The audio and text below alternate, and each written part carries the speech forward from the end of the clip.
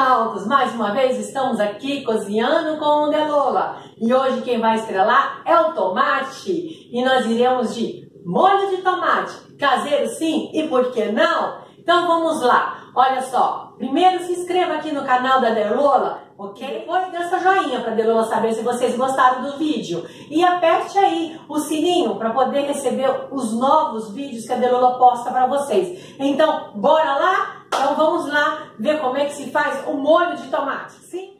Então aqui temos os nossos tomates, certo? Vamos precisar também de cebola. Aqui eu tenho em torno de duas cabeças de cebola, porque eu vou fazer mais ou menos em média 3 quilos de tomate. Mas a medida que eu vou dar para vocês aqui é de 1 quilo de tomate, tá? Então, 1 quilo de tomate, meia cebola, eh, meia cabeça de alho, tá ok? Então, e uma cenoura. Vamos lá.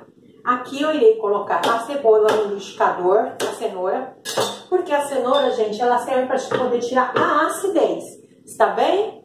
Do, do tomate. Aqui nós iremos picar o nosso tomate o menor que possível, para que podemos não agarrar no nosso liquidificador. Iremos colocar meio copo de água para um quilo de tomate. Pronto, o meu liquidificador já está cheio. Eu vou bater o meu molho já batido. Irei agregar um pouco de óleo nessa panela. Está bem? E irei agregar meu alho.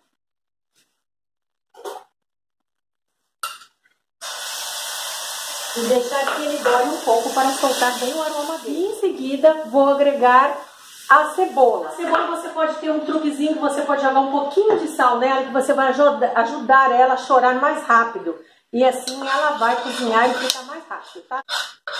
Bom, aí é que vem a dica. Como eles, ah, o nosso tomate não fica muito vermelho, eu vou fazer o quê? Para ajudar que ele fique um pouquinho mais vermelhinho. Eu vou usar coloral. Gente, não é colorífico. Colorífico ele é por um pouquinho de coloral com fubá, tá? Não, não resolve nada, só dá aquela areinha ali no fundo. O coloral mesmo você vai achar no mercado municipal ou nos, nos empórios, tá? No mercado mesmo que tenha colorido. Olha, gente, então aqui está a minha cebola, o meu alho, o óleo e o coloral, certo? Agora irei agregar o meu molho. Tá vendo? Olha só, o, tomate ele não chega a ficar tão vermelho. Porque aquele massa de tomate lá deles tem um corante.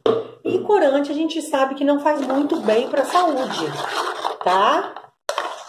Olha só, aqui está todos os 3 quilos que eu coloquei. Deu muito tomate, lógico que eu vou congelá-los, tá?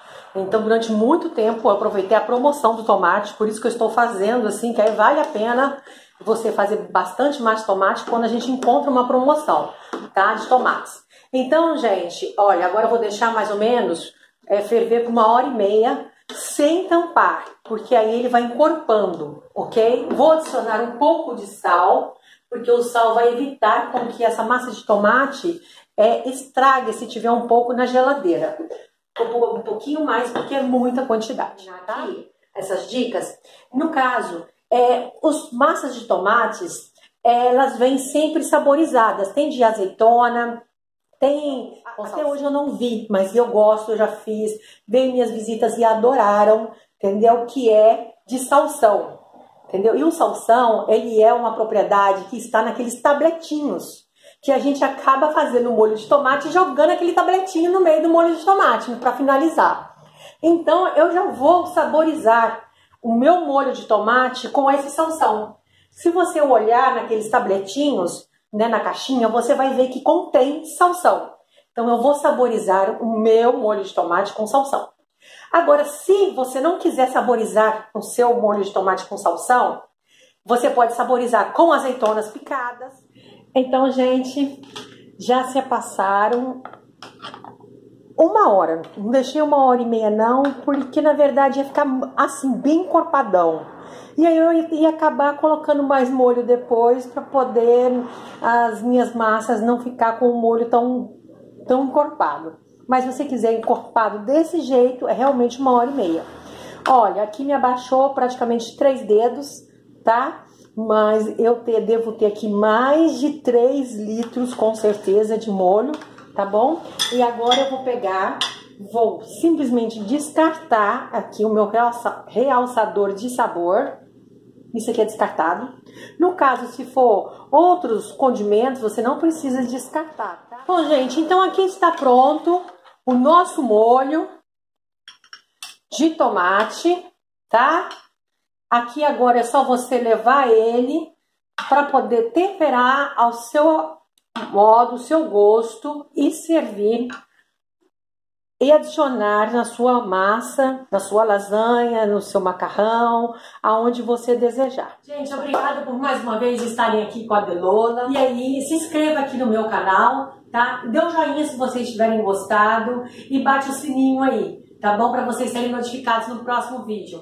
Um beijo da Delola. Tchau!